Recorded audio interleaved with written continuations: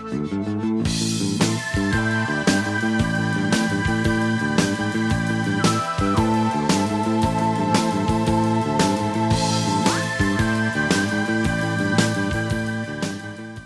гледачи, добар ден. Ве поздравувам и во ова ново издание на емисијата Ваш термин и се надевам дека и денеска ќе имаме убаво дружење и сите оние информации кои што ќе ги доставиме до вас ќе бидат во ваша корист.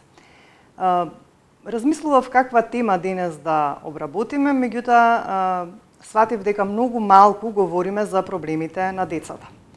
Па еве одлучивме сепак да посветиме малку внимание и да одвоиме време за нив. Одлучивме да говориме на тема правилен раст и развој кај децата, значи, што тоа значи, ран развој на децата, потоа рана детекција на нивните развојни способности, што представува таа рана детекција, значи, дали доволно се следи психомоторниот развој и раст кај децата.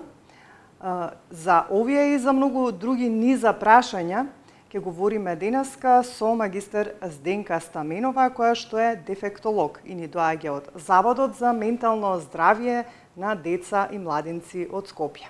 Се надевам дека еве оваа тема која што ќе се однесува нели на најмалите, на децата ќе биде интересна за вас ќе го задржи вашето внимание и уште повеќе знаете бидејќи сме ние отворена контактна емисија, па доколку имате некој проблем со вашите дечиња или внучиња, можете слободно да не побарате на нашите познати телефони и да поставите некое прашање. Меѓутоа, пред да поздравам мојата гостинка во студиото и пред да го започнеме разговорот, подготвивме еден прилог кој што ќе се ќе објасниме некако прилогот Како влијаат овие денес, денешни модерни уреди, например мобилните, айподите, компјутерите и така натаму во растот и развојот на, на децата? Дали треба на вистина да им даваме да си играат со нив или пак треба малку да да внимаваме колку им дозволуваме да посветуваат време на тоа. Да го пуштиме прилогот, да го погледнеме, а потоа ќе се вратиме во студиото да го започнеме разговорот.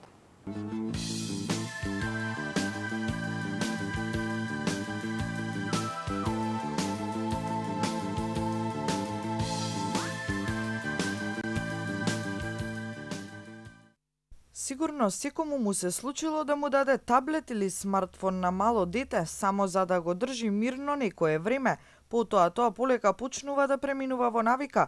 Стручните лица предупредуваат дека таквата постапка може драстично да го забави развојот на говорот кај малите деца. Паметните телефони и таблетите кои им се даваат на сосема мали деца се една од причините поради кои тие се подоцна проговоруваат и се повеќе стануваат мрзеливи и незаинтересирани за околината. На тој начин се доведовме во ситуација да имаме армија деца кои на две или три годишна возраст не изговараат ни мама ни тато или толку многу се повлегуваат во својот свет, што изгледа како да се аутистични, велат експертите. Ерата на модерната технологија покрај развојот на технолошката комуникација ни донесе и друг несовршен вид комуникација, која не е својствена за човекот како социјално битие. Човекот стана нем наблюдувач, кога сиот овој процес ќе го примениме на децата, покрај модерната храна, модерното работно време, модерното растење имаме потомство кое е во сеопшто задоцнување во врска со некои одамна поставени норми, предупредуваат логопедите. Додаваат и дека на децата многу често им се даваат содржини на англиски јазик, што повторно е на нивна штета. Детето кое си уште не го совладало мајчиниот јазик не се препорачува да слуша содржини на странски јазик, затоа денес имаме армија деца кои на две или три години не изговараат ниту мама ниту тато, но знаат да бројат или да ги изговараат боите на англиски јазик, кои најчесто обсесивно ги повторуваат, а не ги разбираат. Лице в лице, а не преку кликови или екрани на допир – Последично на ваквата ситуација, изостанува учењето на двонасочната комуникација, па таквите деца најчесто не умеат, односно не се научени да иницираат комуникација на адекватен вербален начин, Пред појавата на говорот се развиваат цел спектар начини на комуницирање, а кои може да се развијат исклучиво во жива двонасочна комуникација, лице в лице, а не преку кликови или преку екрани на допир. Психотерапевтите сметаат дека игрите и другите содржини кои се наменети за мали деца се добри психолошки осмислени. Детето добива задоволство обкружено со шарени бои, дури добива и награда, доколку игра некоја игра и успева да ги совладува нивоата се однесуваат како да се аутистични. Од една страна имаат игри, некаков си свет кој им причинува задоволство, а од друга страна го имаат реалниот свет, кој им не им е интересен. Соочувајќи се со таквата здудевност, тие од мали одвајчика да им се вратат на таблетот или паметниот телефон, да ги гледаат содржините кои им причинуваат задоволство. Поради таа незаинтересираност за надворешниот свет, децата почнуваат да се однесуваат како да се аутистични. Најмалите само неколку минути дневно. Според зборовите на логопедите, модерниот начин на живот ги осуди родителите на своето 8-месечно дете како стимулативно и забавно средство да му го нудат телефонот или таблетот секојдневно и по повеќе часа. Сепак модерната технологија е реалност, се присутна и неизбежна, затоа од неа треба да се извлече корист. Постојат содржини кои се корисни и кои можат благородно да влијаат врз развојот и говорот на јазикот, но се разбира во соодветна мирка и исклучиво на јазикот на средината. Таквите содржини не треба да им ги нудите повеќе од неколку минути дневно и секако треба да ги избирате оние кои се квалитетни и приспособени за возраста. За повозрастните деца, користењето таблет или мобилен телефон треба да се ограничат на половина час дневно, советуваат логопедите.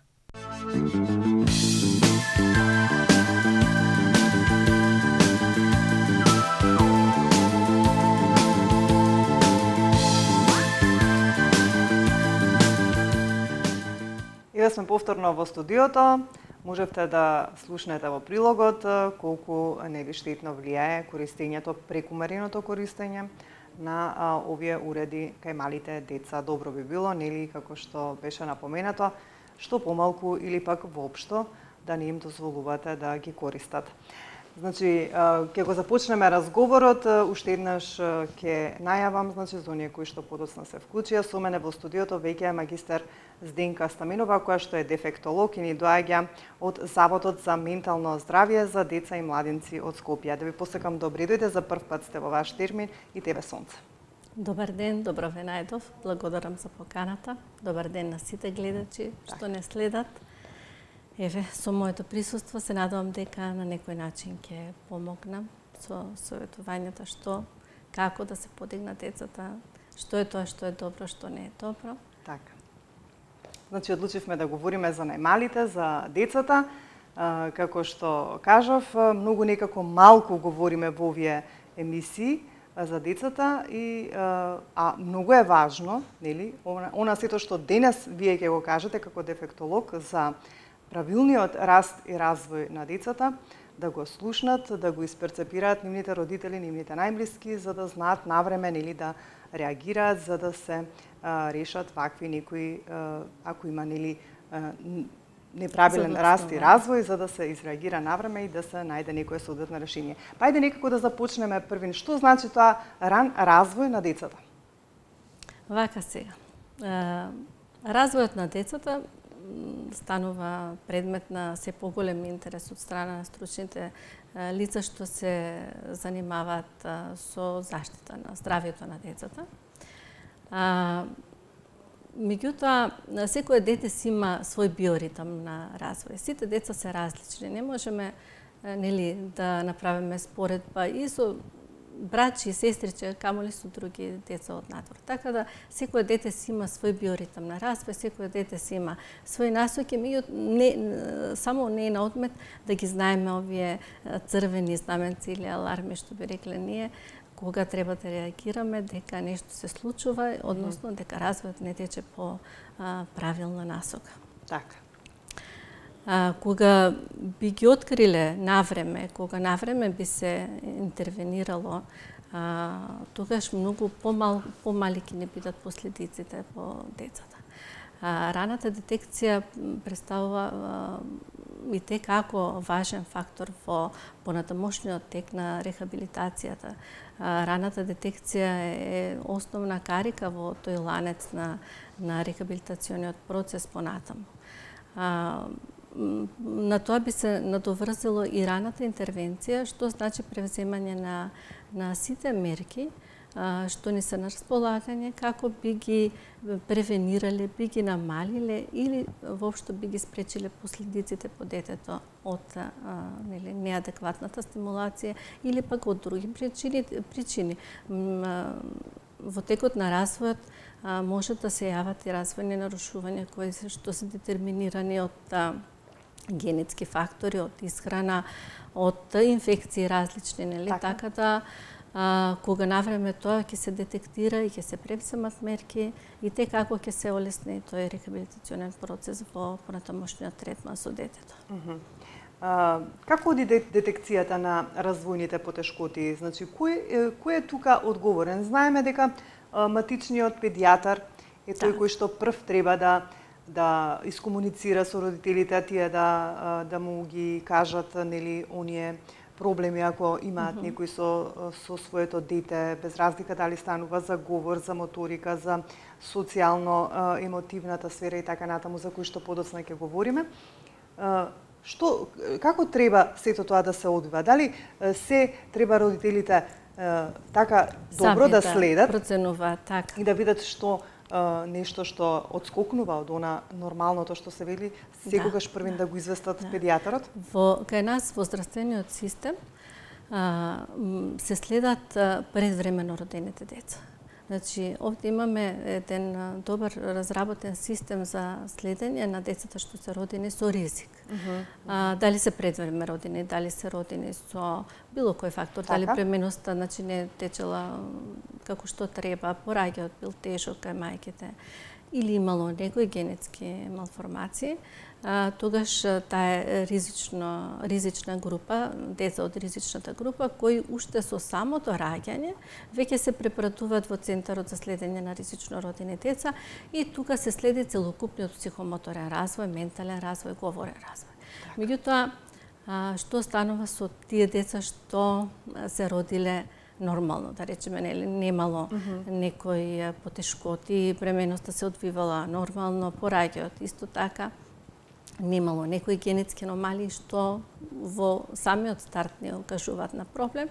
И кај тие деца понатаму сметам дека помалку, односно некомплетно се спроведува таа таа евалуација, односно следење на развој. Заради тоа што мислат дека се е во ред, па да, некако да. нема потреба. А, родителите тука се прават и одредени пропусти. Да, тука се прават и пропустите, затоа што родителите ги носат, ако се здрави деца, значи ако нема некоја патологија, ако mm -hmm. а, немат чести настинки, так. такви да речем лесни работи, Некои проблеми не ги носат на лекар, едноставно ги носат тогаш кога ми е време за вакцинација mm -hmm. и тогаш се проценува растот, так. се проценува а, други работи кои што не укажуваат на комплетниот психомоторен развој.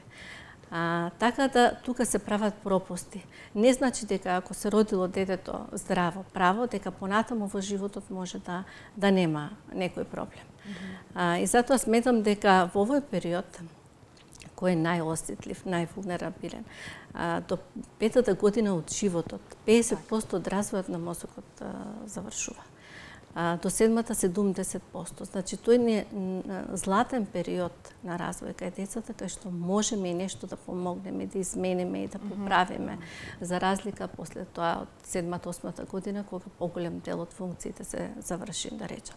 Имаме функции што се развиваат и до 20-та година, меѓутоа во најголем дел, нели, развојот е завршен и тука многу помалку можеме да направиме, а тогаш најмногу се гледаат и се воочуваат кога. Велите, да, кога велите до седмата година, на некој начин се развива мозокот, што би значило тоа, значи, во однос на карактерните особини на детето, во однос на навиките, што што во што конкретно? На се, во однос така? на говорот, на uh -huh. јазично говорните вештини, во однос на моторичките вештини и те како се важни за развивање не само на спретноста кај детето, туку и за стимулирање на сознаните способности, социјално-емоционалните способности. Така. Значи, се во овој период, од самото раѓање на детето, па се до тргнување во школото, во тој интензивен период на развој, би требало да го следиме детето од секој аспект, за тоа што а, детето е едно комплексно суштество, нели, што не може само да го следиме и да го заштитуваме од болести. Mm -hmm. а, туку а, да имаме еден холистички пристап во кој ќе се вклучени сите фактори,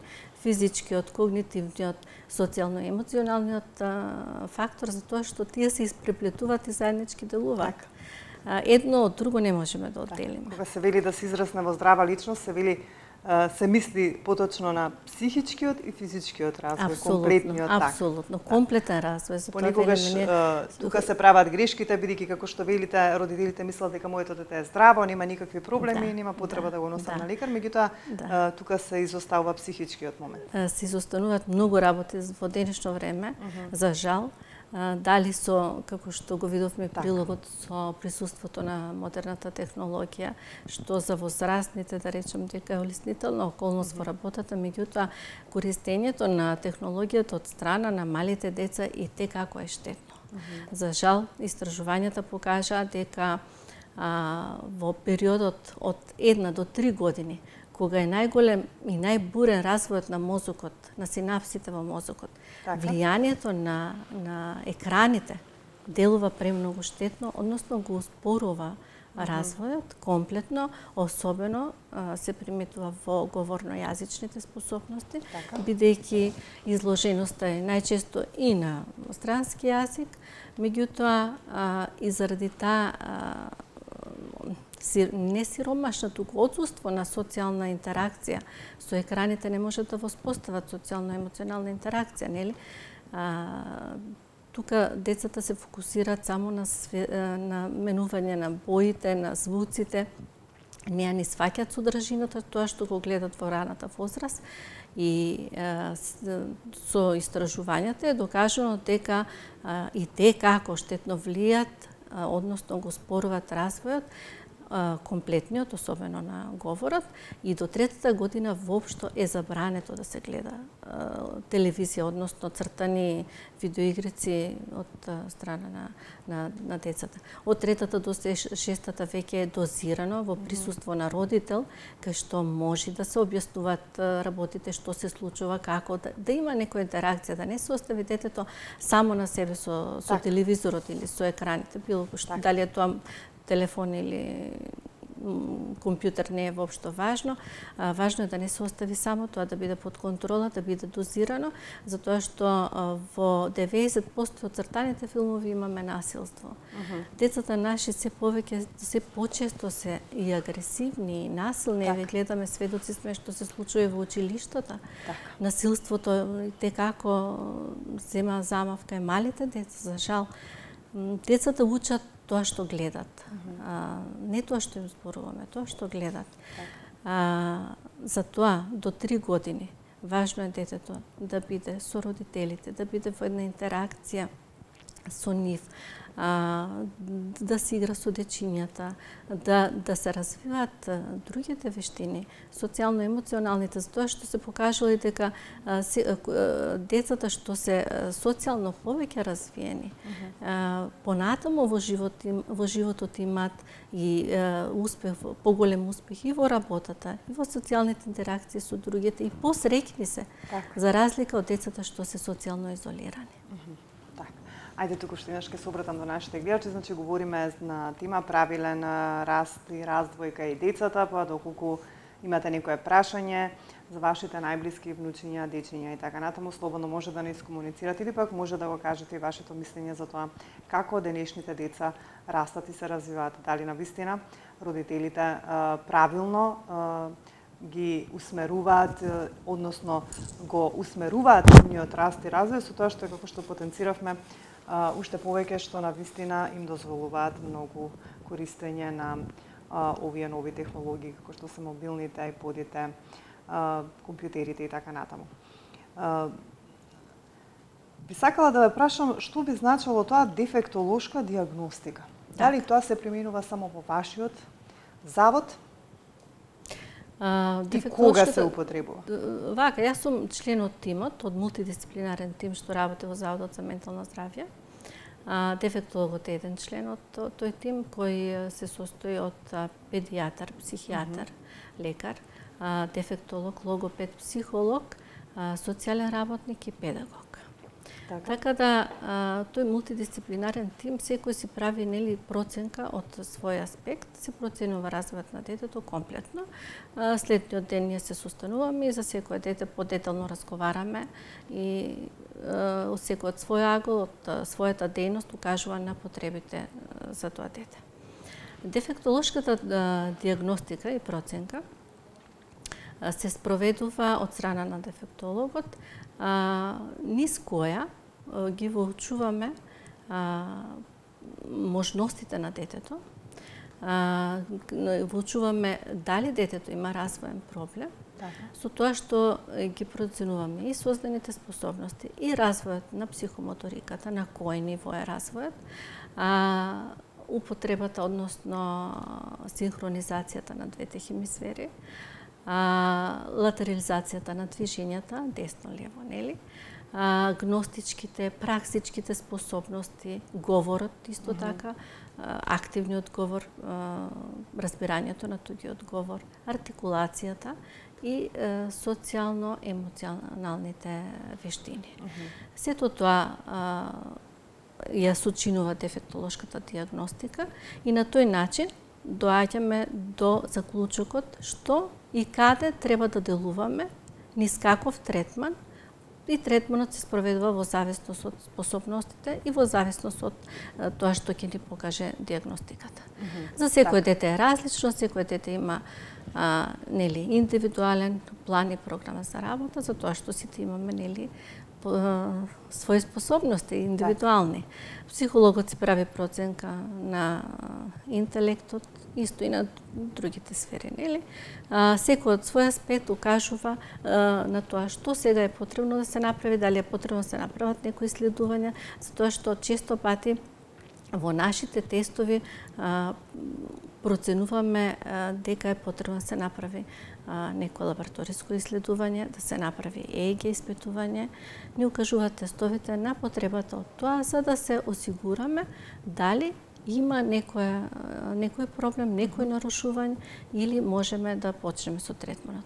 Без разлика на тоа, нели, што и како ќе се прават исследувањата и од страна на лекарот што ќе предложи, дефектолошкиот третман се се спроведува заради стимулација на сите тие вештини што ги спомнавме, моторички, когнитивни, социјално, емоционални и говорни. Mm -hmm. Затоа што така. проблемите, односно потешкотиите, се јавуваат во овие четири сфери. Mm -hmm. Кога говоревте предходно, споменавте дека обично се следи растот и развојот на децата кои што се пред време родени или пак кои што имале некој ризик. Имале некој ризик, так.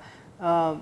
Дали тоа значи дека тие деца, бидејќи нели повеќе се фокус, се фокусирате на нив, така. а, а, многу големи се шансите да да имаат токму правилен раст и развој, бидејќи некако да.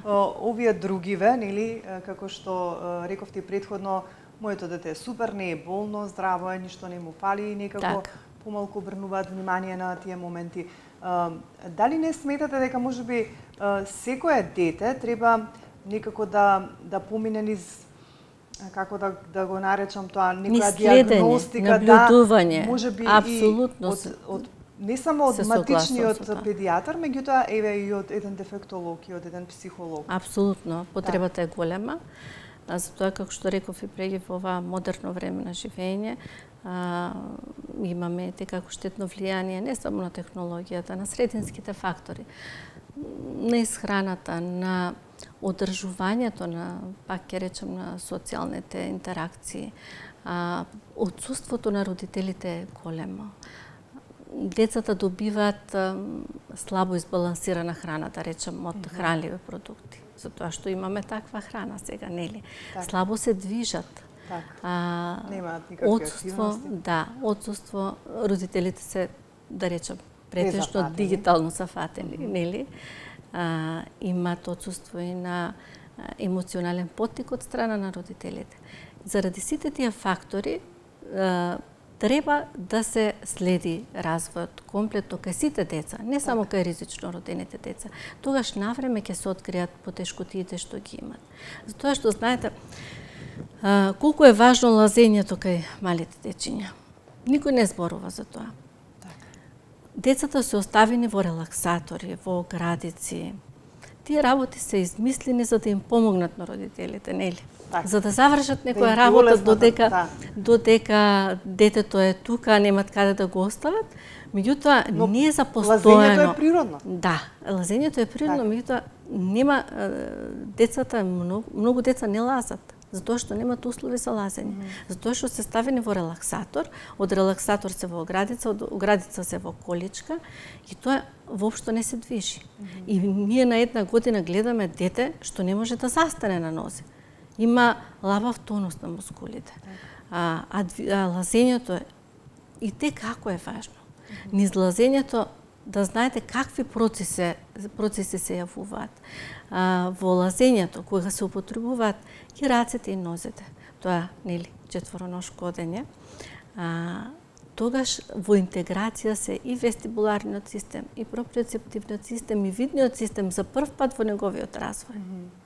Таа интеграција на тие сетила понатаму во животот, кога ќе дојдат децата во школа, им помага да го усвојат полесно процесот на читање. Тоа за тоа никој не спорува. И сега ќе ги ставиме во релаксатор, ќе ги ставиме пред телевизија, уште од мале се оставаат. Значи од еве имам во моето искуство, можам да кажам слободно, самите родители тоа го кажуваат. Ги стават пред телевизија, после во оградица и дали лазело малку, ама во оградицата гледа телевизија, не лази, не кој ќе дојде на една година, тогаш се учиме да да оди. Mm -hmm. Значи не се развиени моторичките способности. Да не зборам за фината моторика која понатамо нели е таа што не доведува до држање на пенкалото, до правилно пишување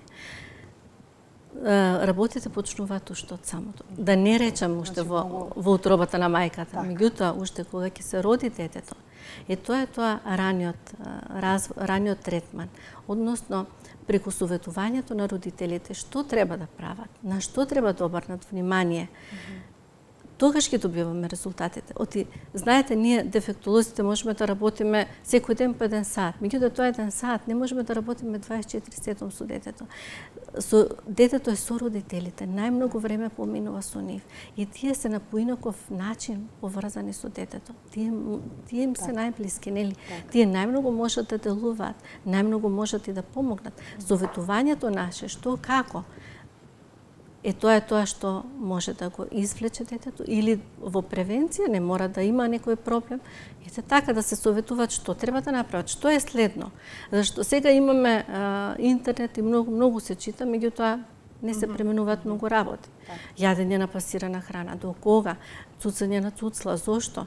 Значи, после немаме говор, после имаме проблем со артикулацијата, имаме проблем со забалото. Сето тоа е тоа во раниот развој, во раниот третман, во раната интервенција, периодот од раѓање до 3 години. Тогаш е најважен за самото дете и за подоцнежниот развој на тоа дете.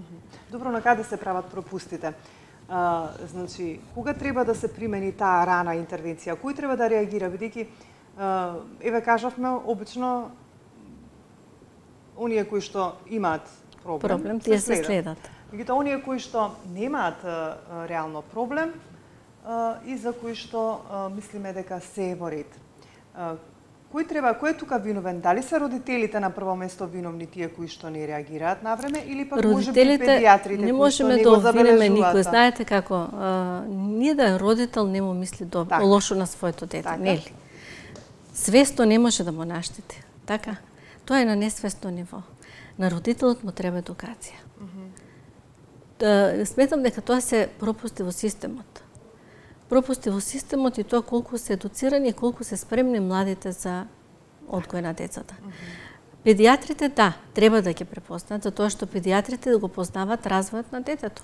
Ние знаеме, нели, за секој месец што треба така, да направи така, детето. Што е нормално да ако, ако детето не пројавува да се... насмевка во третиот месец, а, во четвртиот, а, не прави невербална комуникација со мајката, не ја гледа во очи, не се смее. До седмиот месец не прави разлика меѓу мајката и, и другите непознати луѓе. А, не застанува, не стои на нозе до годината, да не зборам сите тие по а, да, да, да застане на нозете на 4 месеци, односно во проценките што го правиме тоа. На 3 месеци да не фаќа предмети во раката, не ги става во уста, на тој начин или ги истражува, а, да не се појавуваат сите тие работи на време. Не можат родителите тоа да го знаат во кој месец што треба детето да прави, така? Да. Треба педијатарот тоа да го прави Знам дека имаме многу малку педиатри во градов и во Македонија воопшто. Знам дека се преоптеретени со работа, затоа што повеќе се заним... не занимаваат, него тоа е проблемот, болестите не се тука, нели? Повеќе внимание посветуваат на болните деца отколку на здравите деца, -hmm. затоа што има недостиг од лекари, така. има недостиг од време и имаме недостиг од едукација на родителите за правилен раст и развој на своите деца. Ајде, бидејќи гледам дека времето ни минува, би сакала да ги објасниме сите овие работи за кои што предход, предходно напоменав, значи говорот. Ајде пред да, да, да кажеме нешто околу говорот. До кога треба детето правилно да говори, значи претпоставам дека и многу од овие деца кои што нели немале никакви проблеми, многу доцна почнуваат со говорот. Па не мора да значи дека тие некој проблем ќе имаат, меѓутоа сепак треба да се исконсултираат со соодветно За да се пројави говорот, така. за да се пројави говорот, треба да се стимулира. Uh -huh. Така. А, да се стимулира говорот потребно е мајката, таткото, нели, кога така. се во контакт со своето дете да му споруваат. Нели, кога е тоа галење, кога е тоа милување, проследено со говор. Тогаш на 3-4 месеци детето се обидува да каже глас, да пушти глас. Так. А, мајките нели го знаат тоа секако. А, на 3-4 месеци. на 6 месеци веќе седум имаме брблење. Mm -hmm. Овие фази, доколку се пропуштаат, да се пропуштат за тоа што, пак ќе речем, на 6 месеци знам дека децата се остават пред телевизија. Тука нема учење на говор. Да. Ако на детето не му се зборува, ако не се поттикнува, ако не се стимулира. И ако на година дена детето нема барем неколку збора со значење. А, на 18 месеци нема барем 15 збора со значење, значи веќе дека доцни со развој mm -hmm. на говорот. Значи тука веќе треба да се реагира. Причините кои може да бидат? Може да биде при, присуството на двојазичност. Ако така. во фамилијата имаме нели родител збори на еден, така. другиот родител на друг јазик и кај дете секој секој дете не може да учи паралелно два јазика mm -hmm. и тука кај детето настанува проблем. Изложеноста на ТВ екраните веќе го спомнавме тоа и дека ако штетно влие на развојот на говорот може да има и генетски а, нарушување на говорот во зависност од нели наследните особини што ги носиме во себе и во зависност од срединскиот фактор сето тоа се испреплетува и ни дава сликата што имаме за детето. Добро, како што кажав, некои деца може би и подоцна да го развијат некој... говорот, меѓутоа меѓутоа имаат невербална комуникација, так. тие зборуваат со очи, со гестови. Mm -hmm. Значи те следат так го има тој тој аспект. Ги разбираат Например, кај аутистичните деца, кај децата со аутизам, а, можат и како рано да се препознаат тие знаци, тука немаме ни невербална комуникација. Значи, детето гледа низ родителот, нема mm -hmm. насмевка, так, нема, так. А, нема обид за повторување на, на, на некој глас. Тоа е кај класичниот аутизам зборам. Mm -hmm. Зашо имаме и Аспергер, имаме и други видови, нели? каде што може да се јави говорот, меѓутоа и се јавува во некоја а, неструктурирана граматичка граматичка структура која што нема а, ред. Меѓутоа веќе до три години би требало на некој начин да да има а, добар говор. Добар говор кој што, што не мора да значи можеби некои букви да во комуникација. Mm -hmm. Обично некои од децата може би некои буфи подосна да ги совладат, меѓутоа так, горе доле да има еден оформен се говор. Се совладува так. најкасно тоа логопедите нели го третираат и го знаат повеќе од мене, меѓутоа тоа тоа се веќе финеси, да так, речеме. Да, така. да, затоа велам, да. На детето Веќе треба да му се зборува правилно, затоа што родителите се говорен модел mm -hmm. за детето и не само говорен, туку модел и на однесување. Так. Децата учат од родителот. А, треба да му се зборува правилно, треба да се зборува полека, за да може тоа нели да направи обработка, за да ја разбере, разбере суштината, за да може да mm -hmm. има фидбек да одговори на на тоа mm -hmm. што се зборува. Секоја секоја работа со детето, игра, се што се прави прави, нели, кога е детето со нас, именуваме, детето слуша, пасивно го учи значењето нели, на, на термините и кога ќе се прояви говорот, веќе многу полесно а, оди за тоа што до сега го учил пасивно значењето mm -hmm. на тоа што родителите го зборувале. Така. Значи да потенцираме ако веќе до 3 годишна возраст не е оформен добро говорот, тогаш веќе на вистина и порано треба, да, да, да се јава. да се да се јават порано. Јас да постојано кажувам што порано се јават родителите на преглед, што порано се открие проблемот или нарушување, што и да и да нема, тогаш советувањата многу повеќе помагаат на помала возраст, многу полесно се извлекува детето mm -hmm. од ситуација, отколку на подоцнежна возраст, каде што веќе не е потешко да, да реагираме. Кога станува збор за моториката? Кога станува збор за моториката, тука имаме првото што го кажав, нели пасивност, односно недвижење.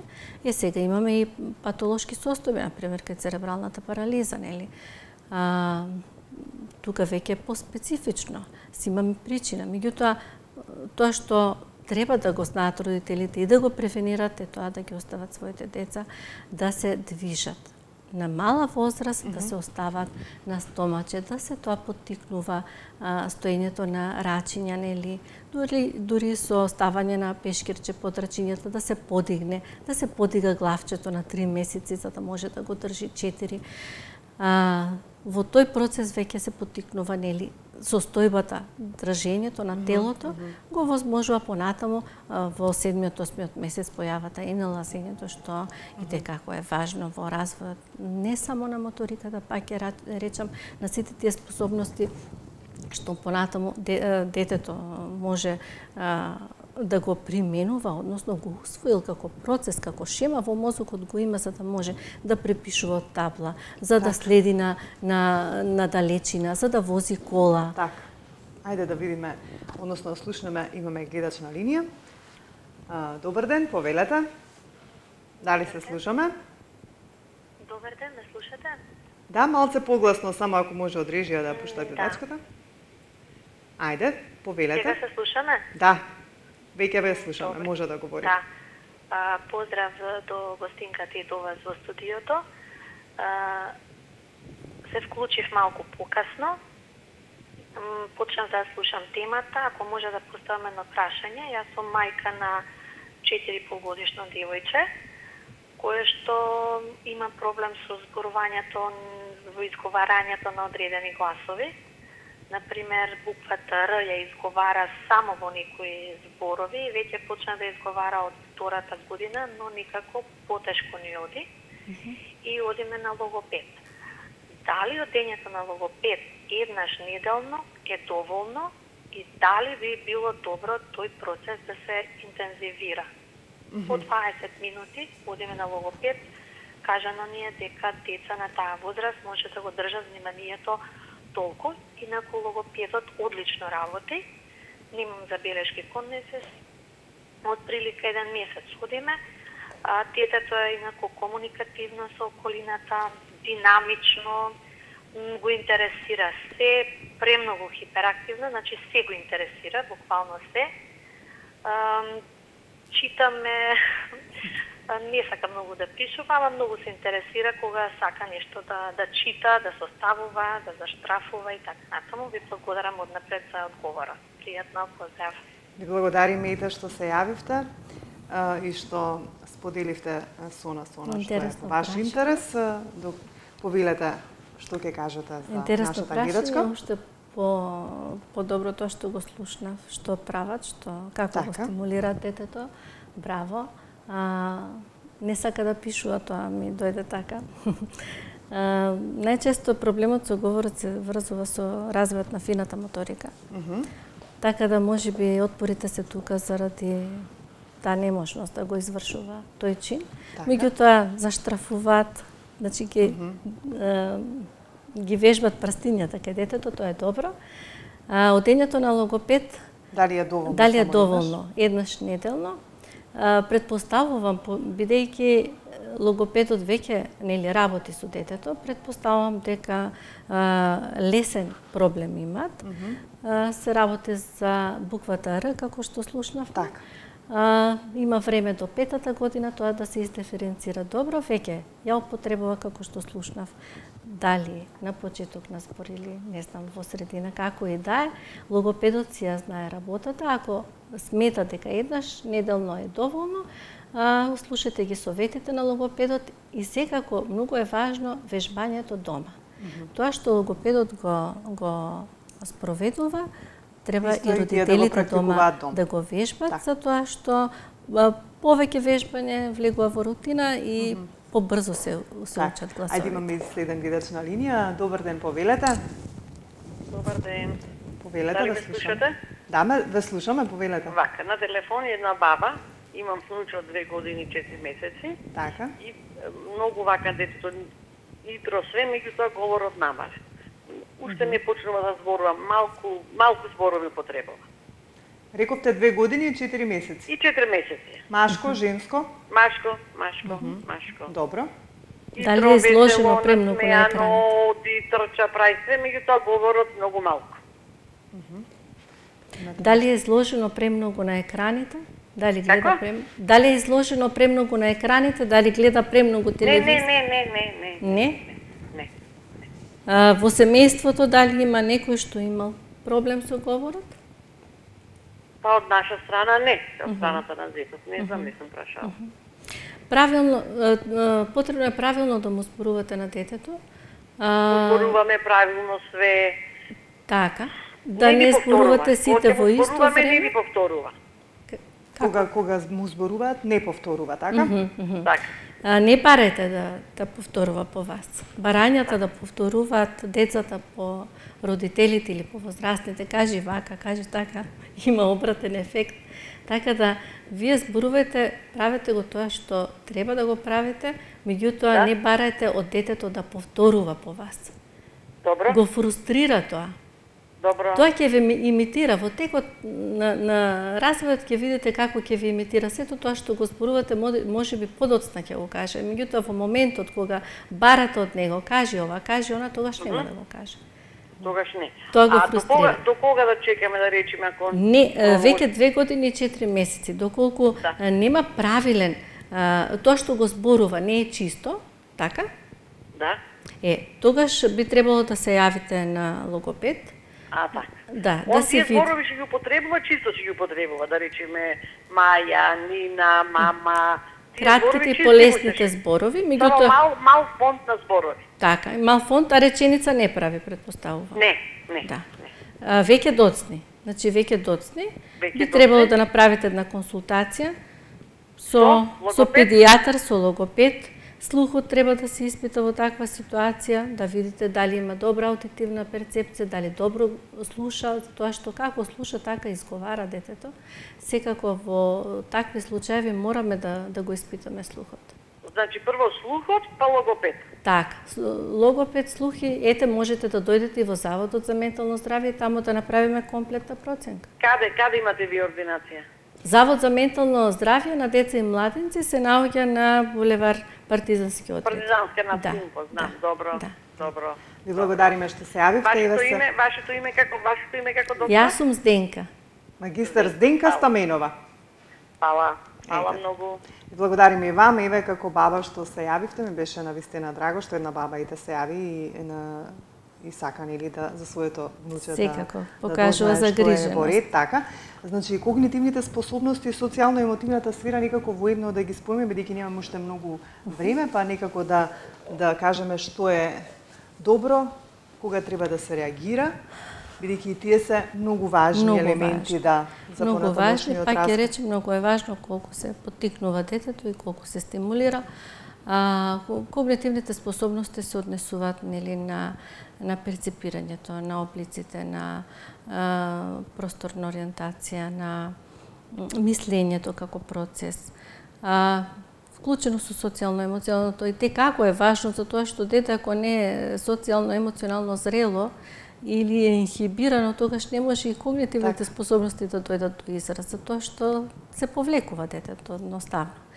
А, овде да ги издвоиме, да го издвоиме, нели, случајот со децата со аутизам, кај што и така те како е засегната таа а, социјална интеракција и комуникација, нели, трпи комуникацијата и вербална и невербална, а, да направиме дистинција и да разграничиме нели би било потребно и во случај кога касни и тој дел од развојот треба да се јават на на консултација, односно на советување родителите за да увидиме дали нешто нели од тој сегмент се работи за да можеме да дадеме совети за да се ублажат овие форми на однесување. Така.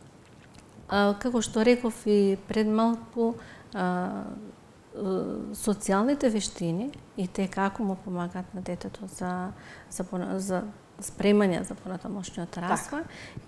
Потребно е нели да се дружи со врсници, да играат заедно, дури кога си ги земат играчките и тогаш е тоа добро за да mm -hmm. секој си го земе, мислам, да значи... земе своето место под небото, так, тоа е така, добро. Так. Емоционално да се издржливи, нели да, да, да кога се стават граници во однос на воспитувањето, имаме многу за да зборуваме. Так, да. Кога се стават граници, кога детето научува што сме, што mm -hmm. не сме, колку може, колку не може и го почитува тоа. На тоа дете му е многу полесно да функционира во било која социјална средина. Тоа денешниве деца некако многу се поинакви. Многу се поинакви за тоа што се. имаме многу попустливи родители, mm -hmm. имаме голем избор, родителите так. сакаат. Само да ве прашам, дали се добри казните? А, казна во, во смисла на физичка казна не. Не, о, говорам него, сега да, веќе нема да добиеш тоа и тоа нема да ти купам играчка, абсолютно, да, така да. Апсолутно, да, Добри тоа се тие И награда и казна mm -hmm, треба да има за да знае детето и да учи што е добро и зошто тоа го направи и што следи ако го направи тоа. Mm -hmm. Ако ги, не ги научи тие причинско-последични врски, како ќе знаеш што е добро, нели? Mm -hmm. Зошто е наградувано? Так. А сега децата се наградуваат постојано, не ни знаат зошто се наградуваат. Постојано им се угодува, им се купува, нели? Так. А казни немаме. Да, имаме да, би сакала да прашам, што тука сме некаде при крајот, хиперактивните деца. Така. Што со нив? Тоа е друг ентитет. Така? Да, тоа е друг ентитет, тука си има причина за такво однесување. Mm -hmm и секако дека си има и посебен третман со овие деца. Може би посебна тема една цела. Да, може би, може би, да. Имаме многу Ајде вака како за крај, бидејќи би сакала како еден апел или совет некако до сите оние кои што не следат, ако што имаат проблеми со растот и развојот на децата, што би ги посоветувале како да постапуваат еве неколку совети на накусот, накусот. да речеме така да. Прво и основно секогаш кога ги советувам родителите им кажам сакајте ги вашите деца во секое време да му се укаже на тоа дека е сакано, да знае дека е сакано, да му се каже, да го почувствува тоа. Тоа е предуслов и, и прв двигател кон развојот. Тоа е многу важно. Меѓутоа, ставање на граници. Ставајте граници. Тоа може, тоа не може. Добро воспитано дете се функционира во секоја средина, во секоја социјална група, нема никаков проблем. Ставање на граници, љубов во секое време и почитување на а, развојните нивоа. Mm -hmm. Што сега, што после, што кој ќе тргне во школа.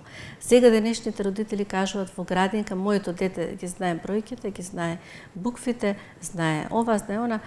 Детето не знае да јаде само, не знае да држи лажичка, не знае да се облече дел од облеката, не знае да се измие. Значи, има за секоја возраст што детето треба да знае. Так. Сега, а што понатаму. Јас се благодарам за денешното гостување. Ова беше една така широка тема. Ние се обидовме така да некако сублимираме, да сублимираме, меѓутоа и те како треба да се говори за децата, не само за малите, Много. и за поголемите, дури и за и за тинеџерите, бидејќи на вистина ако некако се скршне од оној правилен пат на во развојот на децата и те како се случуваат големи последици. Благодарам многу. Благодарам и на вас за поканата. Почитувани гледачи, ви благодарам и на вас вашето внимание. Ве оставам во убаво расположение, имајте добро здравје, грижите се за себе, а ние повторно се гледаме за 7 дена по исто време.